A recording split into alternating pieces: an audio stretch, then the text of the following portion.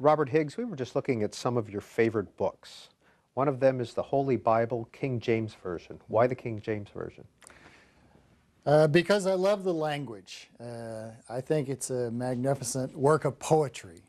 And uh, I think e even if you're not the least bit religious, uh, you have to recognize that uh, that particular Bible as one that's had enormous uh, effects on not only Western culture, but its language, its turns of phrase. it's just impossible to imagine the, the past 400 years uh, without that Bible. It's had such a, a, a deep and wide uh, effect on, on the culture of the West.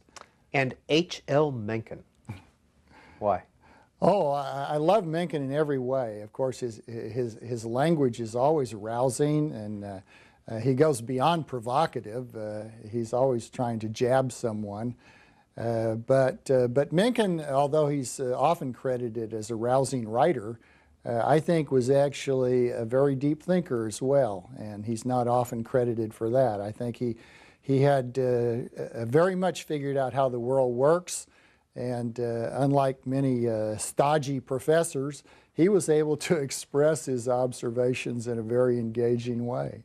Do you think that you and H.L. Mencken would agree on political issues? Uh, we'd certainly agree on a great many of them. Uh, I don't know whether there's something we would disagree on. There might be, but uh, I think I would have a great deal of agreement with Mencken. I, I wish he were here today. We need him. We are back to taking your phone calls with Robert Higgs, our guest for In Depth this month, Uniontown, Pennsylvania. Thanks for holding. You're on the air. Hi, thanks for taking my call. Hi, Professor Higgs. Um, um, where to start? Uh, greed um, basically means wanting or taking more than one needs. But uh, in the business world, um, you have profit maximization, which means getting as much as you can. And I would see that that was even more virulent than greed. Okay, so we go to that sterile environment, and then you add to that the deregulation that started under the Carter administration that allowed for the S&L crisis and uh, you had deregulation that happened at the end of uh, Carter administration. Uh, you had the Gramm-Leach-Bliley Act and the Commodity Futures Modernization Act, which allowed for things like Enron and our present crises. Uh, what do you think about deregulation? Uh, the more of it, the merrier. Uh, I would like to see everything deregulated. Because if everything were deregulated, then there would be a very strong incentive for people to be careful. For example, people wouldn't simply uh, put their deposits in a bank unless they had some information about the safety and the management of that bank. Uh, people would not simply buy securities uh, relying on some assurance that the Securities and Exchange Commission has looked over the security and uh, given it some seal of approval. Every time the government regulates something, it creates a false sense of security and leads people to neglect the kind of care that they ought to be giving to the management of their own affairs. Now, of course, when something goes wrong, uh, the tendency is then to turn around and blame it on uh, deregulation, if any, if any has occurred. Uh, but this presumes that if we only regulated everything, then the world would be hunky-dory. But in fact, if we regulated everything severely so that we got rid of every risk, the world would be a nightmare. Uh, we rely on the fact that people have scope for risk-taking, and we rely on uh, the, the fact that people will take measures to, to protect their own interests. And uh, the idea that somehow we can rely on these government employees uh, as if they cared about us as a mother hen cares about her chicks uh, is something that hi historical evidence shows is verging on a joke. Uh, these regulators very often are in bed with the people they regulate, uh, very often looking forward to a lucrative job in the industry they're regulating after they leave the regulatory agency. Very often people who came from the industry they're regulating uh, before uh, serving for a time on a regulatory agency and then returning to the industry. There's a revolving door uh, that's uh, very well documented. And uh, I, I, think it's simply a kind of childishness to expect that we can rely on these overseers in the government to do the right thing and to protect us from uh, behaving foolishly or rationally or unwisely. We can't do that. We know we can't do that from the way uh, the historical events have taken place in the past. Paul from Tallahassee, Alabama emails in some government agencies, EPA, USDA, FDA, use methods of calculating the economic cost per estimated life saved to justify economically sensible thresholds of enforcement on public safety issues. Why shouldn't we now insist Homeland Security apply the same method and start estimating the unit costs of measures for saving lives and properties from terrorism and other forms of state insecurity? Well, uh, I, I, would uh, not consider that an improvement. Uh, Homeland Security is uh, something that could scarcely get any worse managed in my judgment, but this might be one way to do it. These, uh, these agency calculations that uh, purport to use the, the value of lives saved are extremely controversial at best. in fact, all the kinds of studies that government agencies do uh, to justify their actions uh, are, are extremely iffy.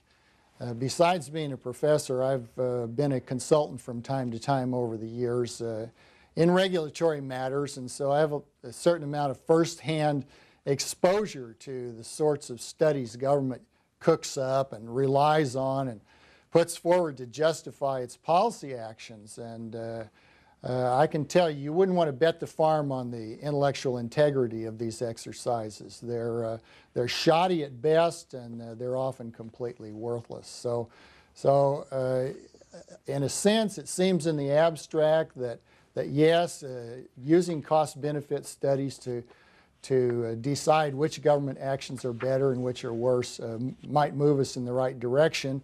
And it's conceivable that occasionally it, it does, but uh, I have little faith in the ability to divert government from what it's really trying to do, which is uh, help its friends, hurt its enemies, and, and line somebody's pockets. And in fact, in one of your books, you take on the FDA. And I can't find it right now, but what do you say about the FDA? Well, I, I, spent a number of years studying the FDA. It was my major research interest for uh, several years during the mid-1990s especially, and I've followed it to some extent ever since. Uh, I think the FDA is probably better than any other government agency. An example of fraud. The FDA purports to use scientific uh, studies and, and scientific information and scientific decision making uh, in order to make sure that no one places on the market uh, products, uh, uh, drugs, medical devices, other products that are unsafe or ineffective for their indicated usage. Uh, this is something of a joke, and everybody who reads the newspapers ought to know it. Uh, can you say Vioxx? Uh, can you say any number of other drugs that have been approved by the FDA and yet turned out to be immensely harmful? So the FDA's uh, so-called gold standard seal of approval is as bogus as any uh, gold standard seal could get. Again, this has given people a false sense of security. Uh, they feel that they're, they're, protected when they're really not. But at the same time, uh, because of the incentives uh, FDA bureaucrats have to not place a, a Vioxx type product on the market, uh, their typical procedure is to be very, very cautious, slow, demand more uh, information, more studies, and as a result, uh, products that uh, are uh, potentially extremely useful and valuable uh, in relieving disease and saving lives are, are often held off the market for 10 to 15 years awaiting FDA approval. Uh, this is a tragedy. It's the kind of uh, regulation that has cost, uh, it seems likely, hundreds of thousands of excess deaths and countless amounts of human suffering in this country.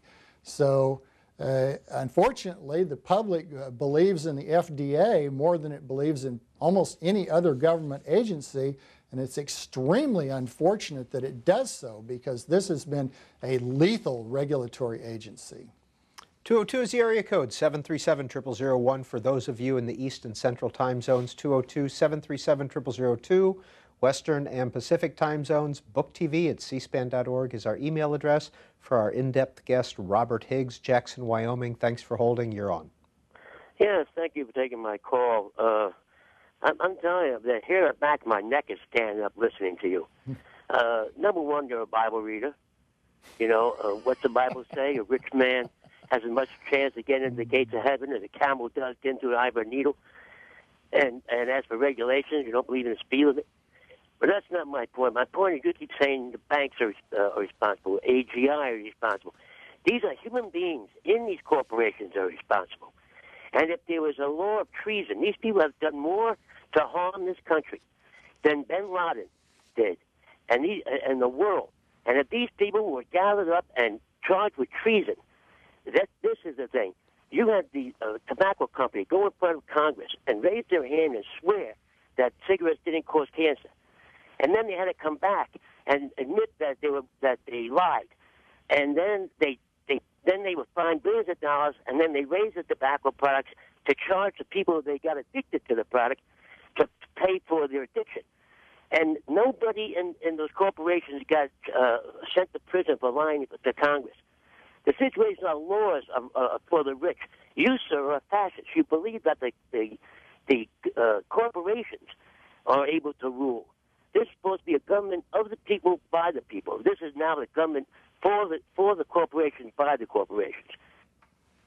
Uh, I think you weren't listening earlier. Uh, I haven't said anything uh, in the way of kind words toward corporations using government power to feather their nests. Uh, I'm completely opposed to that. I'm opposed to anyone's using government power to feather his nest, whether he's a low-income person or a powerful corporation. Uh, my conception of what the government ought to be doing is so limited that it verges on the government's total evaporation. So when big corporations use the government, uh, that's the fascism you're thinking about, uh, I'm entirely opposed to that. Now, what people frequently forget is when they create government power, somebody is going to have an incentive to seize it. And exactly what interests do you think will have that power?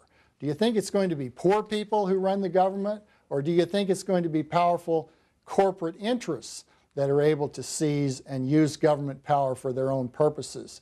Uh, people are very naive when they look to government to save the little guy without realizing that it's not the way government operates.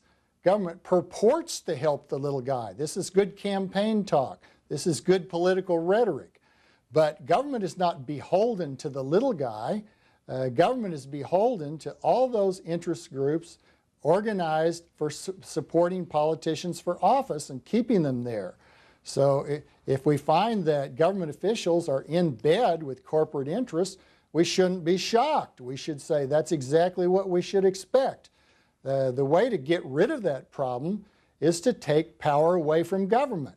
If government didn't have the power to, to regulate products, then the producers of those products wouldn't be paying off politicians to win their favor for the kinds of regulations that will work best for them. So I, we need to get realistic about the nature of government and how it operates. Uh, to, to look to it and say uh, it's in the hands of evil men. Uh, of course it's in the hands of evil men. What did you expect would happen when you created government power? That, that do-gooders would come forth in masses and run the government? Uh, that's not the nature of the thing. Remember, it's force. Government is organized coercion. And when you have that kind of power available, it creates an enormous magnetic attraction for the most unscrupulous, un, uh, uh, uh, unscrupulous interests in society. It's, a, it's like a loaded gun lying there waiting for someone to pick it up and use it for illicit purposes. So create a loaded gun at your own peril.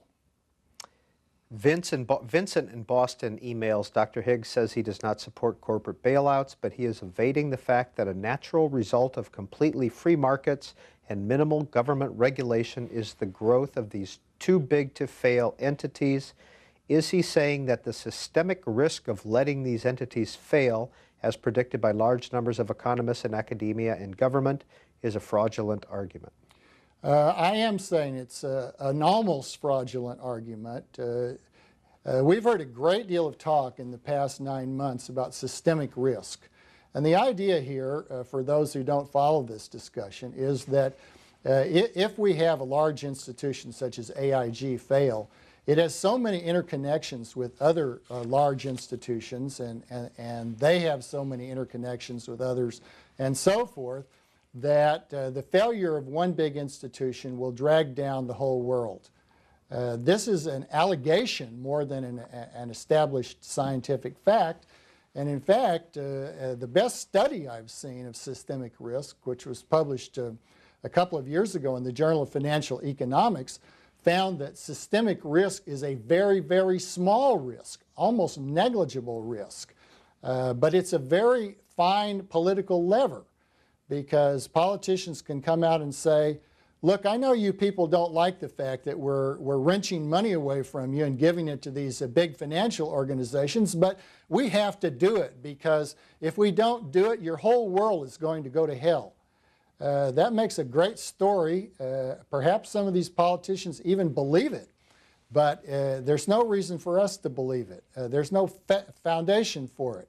Uh, if, if we don't let big institutions go bankrupt, then we've simply changed the nature of our system. We've changed it from a market system, a system of profit and loss, into a system of private profit and socialized loss, which is a real fascist type system.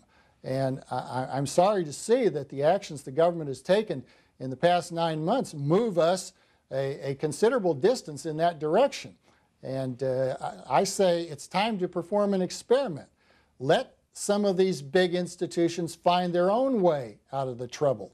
If they can't do it, it's the market's way of, of telling them that they're not worth saving.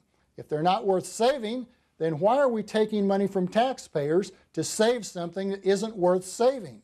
Uh, I think it's a fraud to bring up systemic risk every time the government goes to bail out some of its friends in big financial institutions.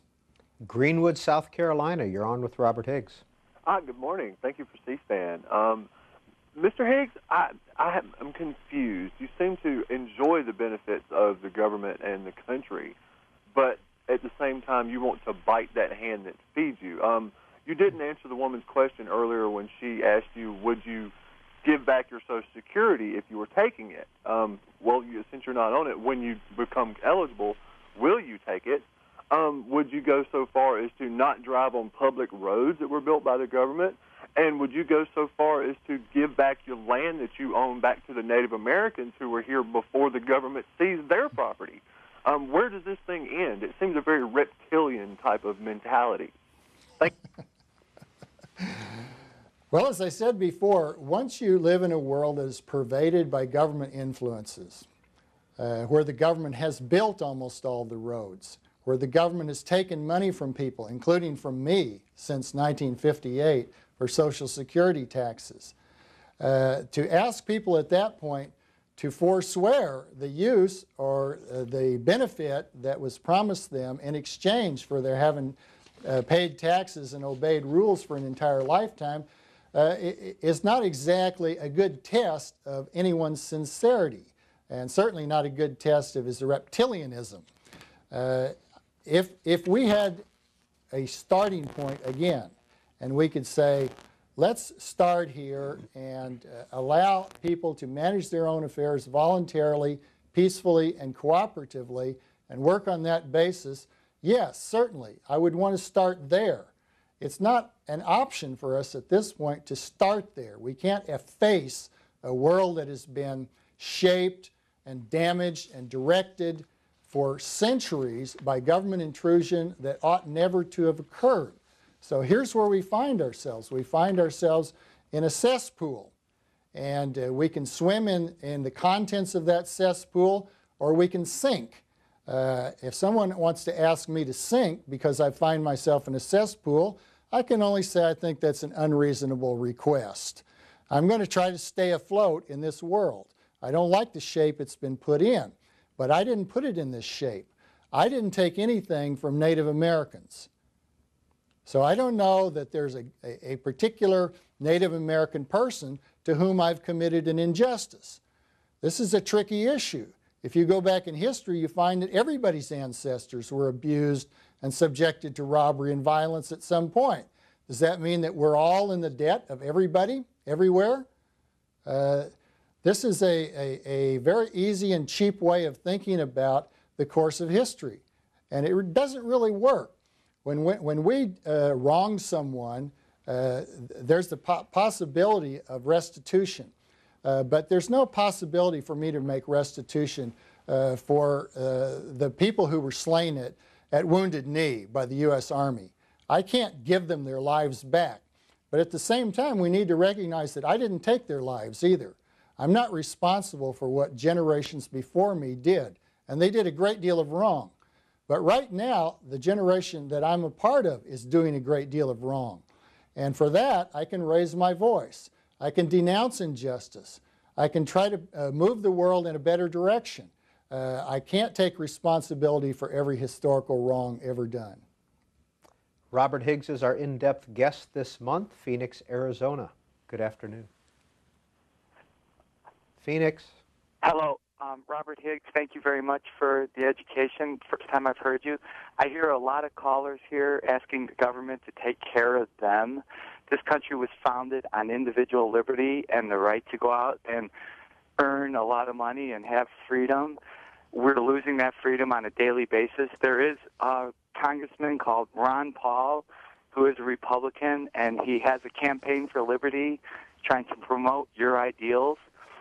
He is trying to audit the Federal Reserve, which has a grip on our economy.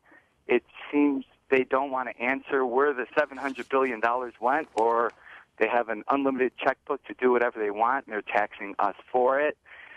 If you'd like to join the Campaign for Liberty, please go to campaignforliberty.com and help Congressman Ron Paul pass a new bill he just wrote called H.R. 1207. And if you do know of Ron Paul, can you please comment on him and his ideals? Thank you. Uh, I know Dr. Paul, and uh, I, uh, I certainly share many of uh, the ideals that uh, he promotes. So uh, I'm happy to, to say a kind word in Dr. Dr. Paul's favor. I think he's attempting to move the country in the right direction, and I wish him every success in doing so. And if you'd like to get in touch with our guest, Robert Higgs, you can go to the website independentinstitute.org. It's a .org, correct? Yes. And Larry Sasser emails in, you focus on government taking our freedoms. I believe our founders did a pretty good job of protecting us from government. We do have the ability to get rid of bad actors in the government. Not a perfect system, but that will come when people become perfect. Our founders did not know about corporations and did not foresee their potential power, so did not protect us from them. Corporations now have the most uh, benefits of citizenship without most of the constraints. I fear corporate control of my life far more than government control. Well, that's an interesting point of view, and it's certainly a, one that many people uh, have. Uh, I think it's misguided. Uh, uh, to my recollection, uh, uh, no corporation forces anyone to buy its product. Walmart does not hold a gun to my head when I go in to patronize the store. if I chose to stop patronizing Walmart, I'd simply walk away from the store and that would be the end of the story. Uh, likewise with other corporations. The corporations have only as much power as they wield through government. Corporations didn't run the Holocaust. Corporations weren't running Pol Pot's regime. Corporations were not running Stalinist Russia. Governments were running these, these, these abominable places. And when we see great crimes being committed, uh, we're seeing the work of government in every instance. Private individuals don't have the means to, to mount huge massacres. Corporations don't have the means uh, or, or the power to carry out these great crimes. Only governments have the means, and often, sad to say, they have the incentive to carry out great crimes. So the idea that you're more afraid of a, a corporation than, or of corporations uh, as a group than you are of government, uh, I, I, think just simply does not comport with the way corporations and governments have behaved in the past. Uh, we're talking about the organized uh, control of violence when we talk about government. When we talk about corporations, we're talking about firms that uh, will last only so long as people choose to do business with them. Unless, of course, the government uses its coercive power to come along and bail them out when private individuals no longer want to support them, uh, as the government is now doing for many of these big financial institutions. So uh, we need to draw a distinction between where the real danger lies because of the control of violent force in governments uh, and where relatively limited danger lies because we have competition, because we have somewhere else to go, because uh, we're not at the mercy uh, of a corporation or of corporations as a group. Now, having said that, uh, I certainly believe it's quite obvious that many corporations have extremely large amounts of clout with the government. Uh, I, I, was talking a while ago about the revolving door, about the way uh, individuals go in and out of government service. Uh, it's, it's most notorious with the Department of Defense, but it happens across the board in government. Uh, and this is simply a way of demonstrating that in a government that's got a lot of power, particularly regulatory power or large spending power, it's going to attract interest groups, firms, uh, that hope to benefit from some form of government privilege. But it's the government privilege that attracts them. If government were smaller, if it didn't exercise these functions, there would be no attraction there and people would have to compete in an open market. So I, I, I, I simply think it's a, a, a, big mistake for people to, to fear the corporations as such. Uh, they're not dangerous. What's dangerous is the corporation allied with and making use of government's coercive force. Ithaca, New York. Uh, yes, uh, Professor Higgs, uh, I have a comment followed by a uh, question about the economy. First of all, there are many people who work for little than more, little more than minimum wage their entire lives.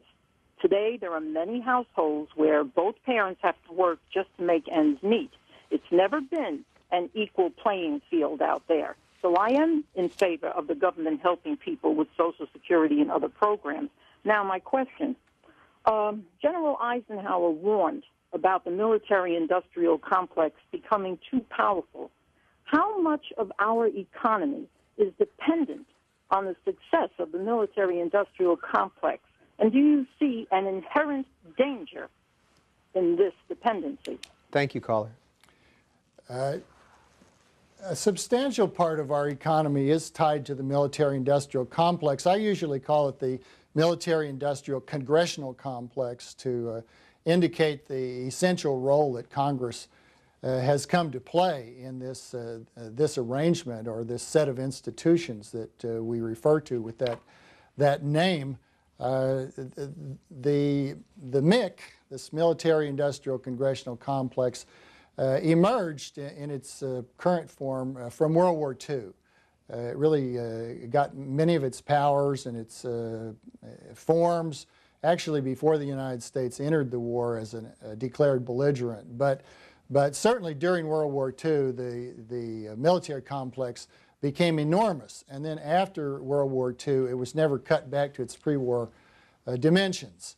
Uh, and uh, particularly from the time of the Korean War onward, it's been a major drain. Uh, I did a study uh, some years ago that found that uh, between 1948 and 1989, uh, when the Cold War ended, a, a, period there of more than four decades, that, that on the average, uh, uh, the military was receiving about 7.6% of the gross domestic product.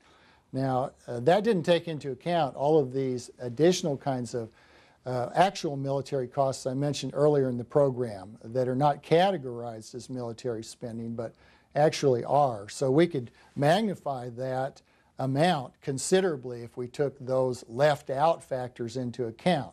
Now this means that the military is a big deal economically.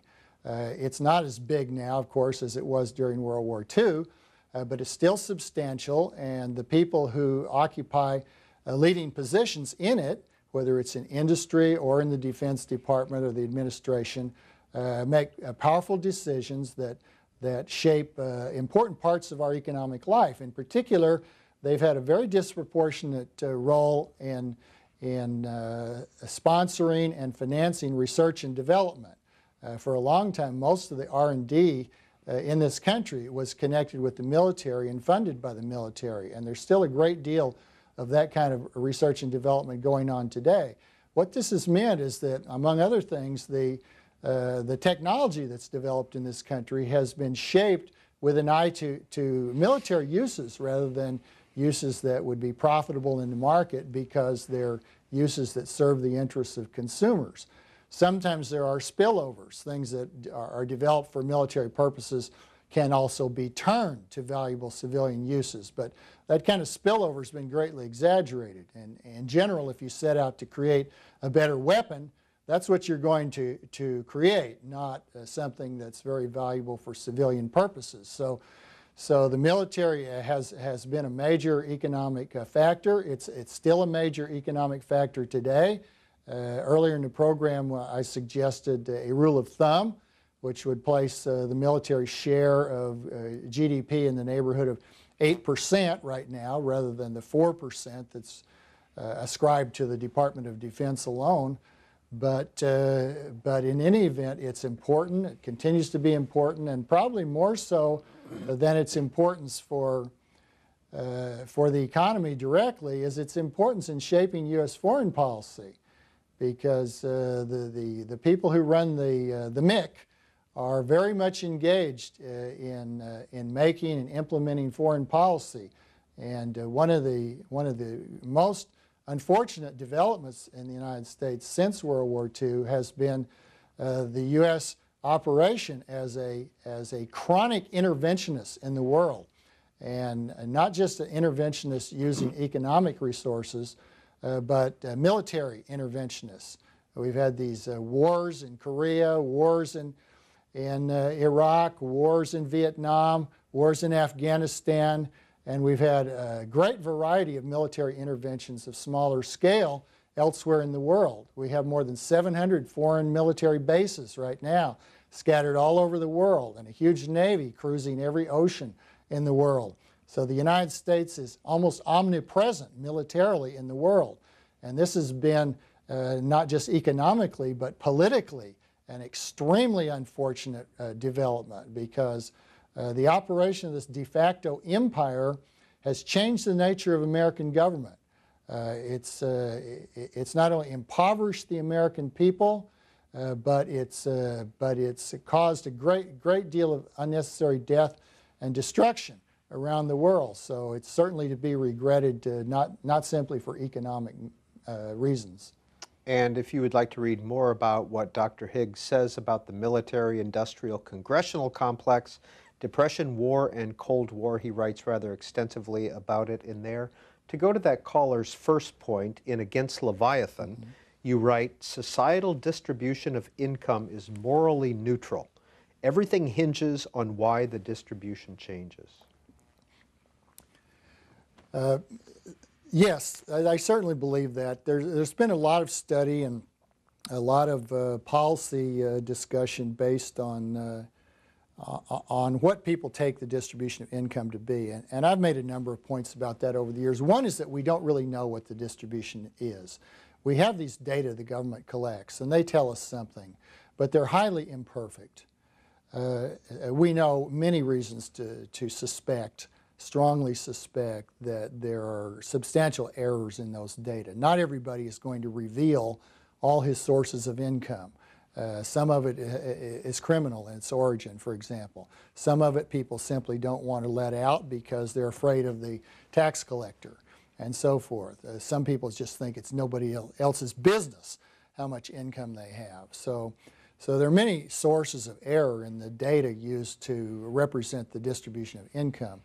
But even if the data were perfect, uh, we, we have so many reasons to, to uh, conclude that, uh, that some people have a lot more income than others for altogether legitimate reasons, as I was saying earlier.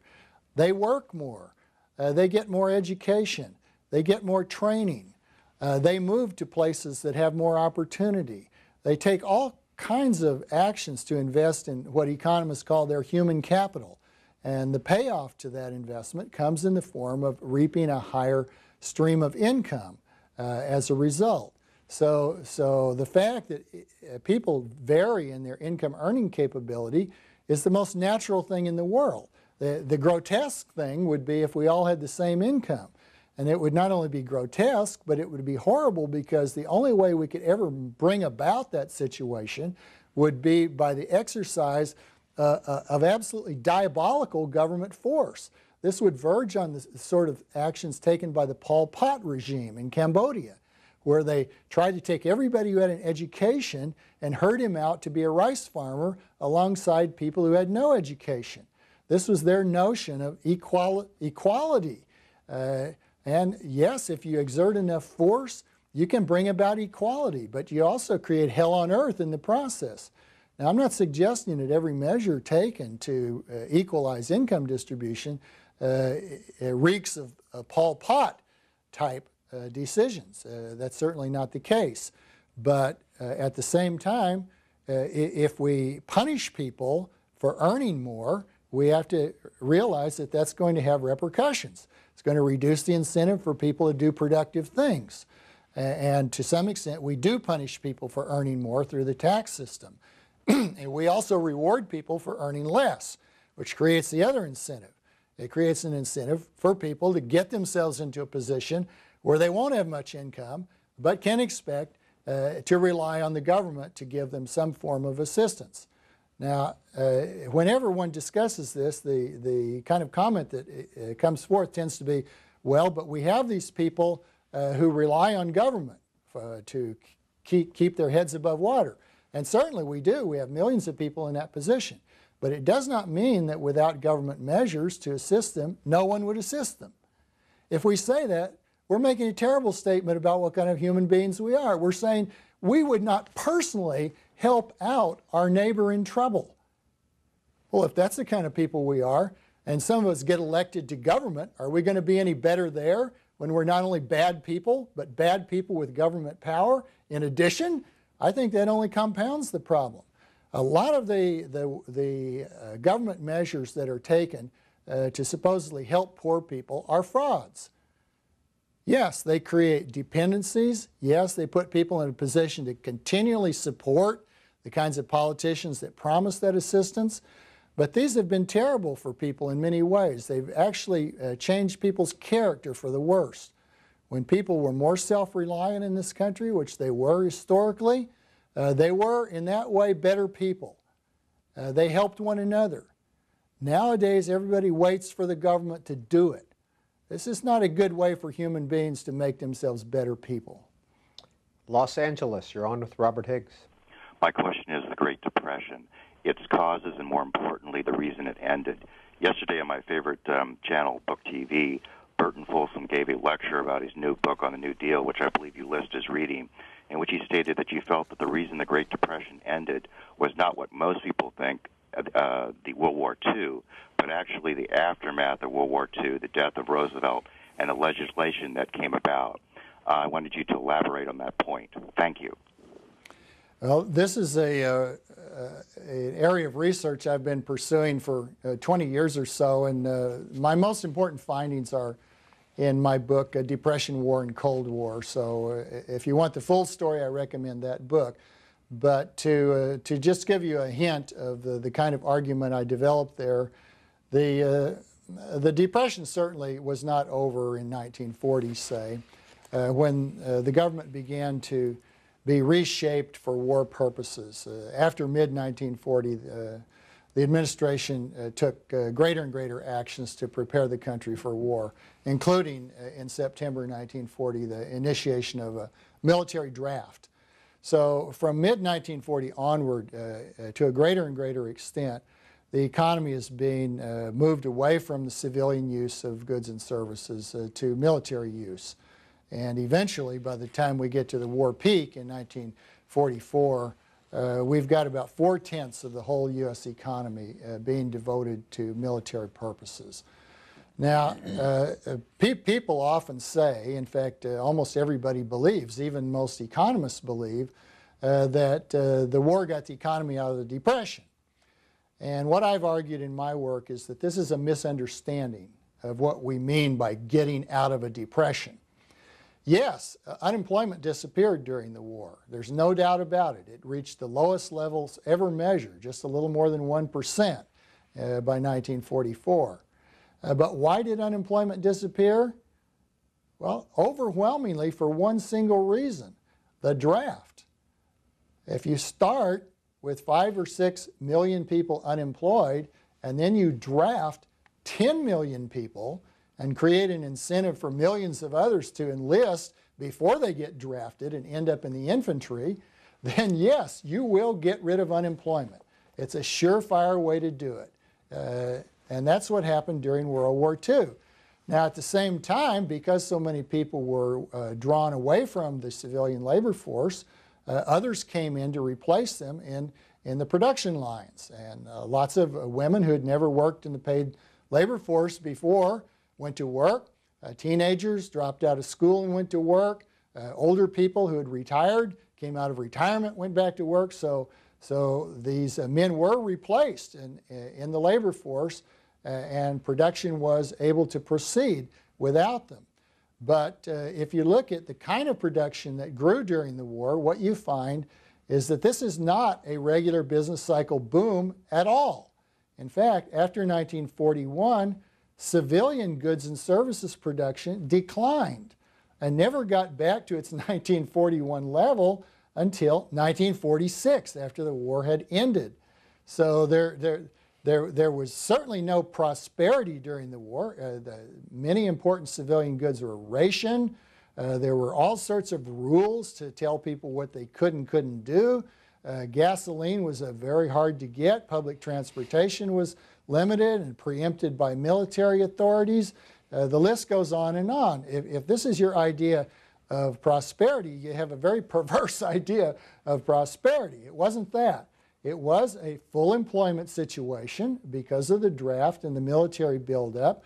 It was a, a situation in which a great uh, a mountain of goods and services were, were, being produced, but they, they were weapons and, and munitions and other uh, goods and services aimed at uh, maintaining, supporting, training, transporting military forces. And so the U.S. was a, a command economy uh, devoted to military purposes during the war.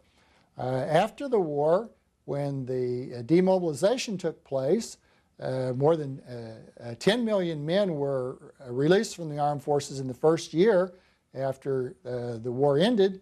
then real prosperity returned because the government gave up this huge claim it had on resources during the war and allowed them to go back into civilian use again, uh, which they did very quickly and very smoothly. Even though many economists, particularly the young Keynesians of the day who had been prominent during the war and claimed their theories had been validated by the war boom, uh, they all expected that the Depression would uh, resume at the, at the end of the war because the government was moving from a huge deficit in its budget uh, to very quickly to a surplus in its budget and reducing its overall expenditures by uh, about 70% quite quickly. This seemed like a Keynesian recipe for plunging the economy into a, a renewed depression. But that didn't happen. In fact, the economy uh, uh, performed spectacularly in 1946 47. The unemployment rate stayed below 4% during those years, uh, and the transition was made very smoothly as government gave up most of its wartime uh, rules, regulation, and uh, resource command and released uh, uh, men from the armed forces. So, so what we saw there was, in fact, a, a, a tremendous uh, refutation of basic Keynesian thinking Unfortunately, the Keynesians remembered what they took to be the validation of their model during the war buildup and totally ignored its refutation by what happened at the end of the war. And uh, I've been trying for years to make people look at both ends of uh, the experience during the war and also to appreciate, uh, above all, that, that war and prosperity were not linked, even during World War II. Just getting rid of unemployment by uh, putting people in the armed forces involuntarily uh, is, a, is a horrible way to deal with a depression. And in his book, Neither Liberty Nor Safety, Robert Higgs writes In ways big and small, direct and indirect, crude and subtle, war, the quintessential government activity, has been the mother's milk for the nourishment of a growing tyranny in this country, and it remains so today. How how does that apply to the current Iraq War? Well, I think when, whenever we have the government uh, at war, as we do now, although it's an odd kind of war, it's uh, certainly not the kind of war we had during World War II, but whenever the government goes to war, uh, it has an excuse for doing uh, uh, outrageous things. For example, uh, it's used the excuse of the, of the wars and the related war on terror uh, to basically gut the Constitution's Bill of Rights. Uh, we thought we had a Fourth Amendment to protect us from uh, warrantless search and seizure. But the government has informed us in recent years that we don't have any Fourth Amendment protection. In fact, that the government will spy on us however, whenever it wishes and get away with it because uh, no one will do anything to stop it. This, uh, the courts won't stop it effectively. It just goes on doing it. So uh, our right to privacy has been egregiously violated and gutted by the government on grounds that this was a war necessity, that the government needed uh, to spy on everybody in order to make sure that terrorism uh, didn't uh, uh, occur in our midst again. Uh, it's, the, it's the most outrageous kind of exploitation of the fear that goes along with war and other forms of national emergency. So this would be just one example, but there are a great many others. Uh, the government has increased its, uh, its budget size hugely uh, since 2001. Much of this was excused on the grounds that, that the government had to spend more to respond uh, to the threat of terrorism.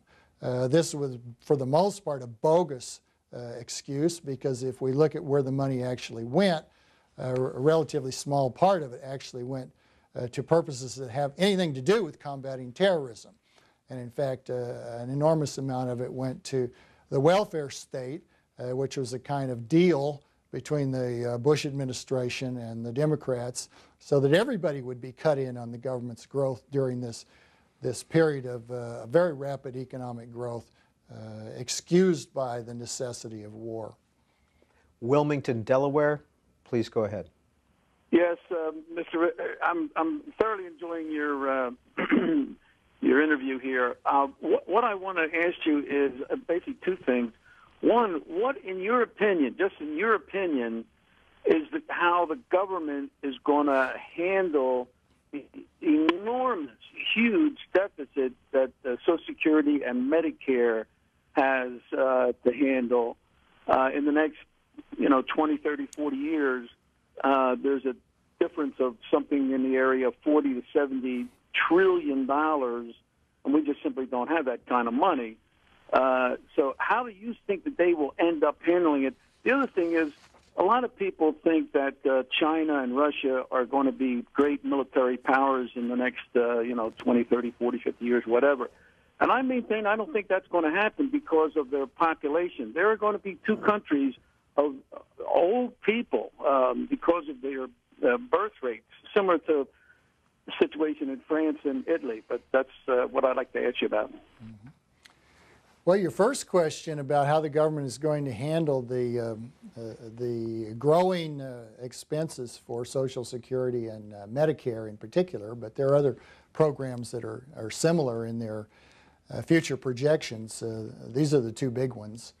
Uh, the, the government will, will not do what it cannot do. so what we know for sure right now, there have been a number of careful studies of this matter, and what we know for sure is that uh, the government will not be able to, to make the payments it has promised to make uh, under existing uh, rules and regulations of the, of the Medicare uh, program and the Social Security program. So we know that it's going to do less it's not going to provide all the, uh, all the benefits that it's promised to provide. Uh, I think it will do this in a, in, in a number of ways. Uh, first of all, I think the adjustments the government makes will be piecemeal, gradual. Uh, little by little, the government will make changes. It's already moved to some extent in that direction. For example, the uh, retirement age uh, has been raised a little bit for Social Security. people who were born when I was born cannot retire with full Social Security benefits until they're 66 years old rather than 65 as previously. And then there are further adjustments already programmed to raise the retirement age.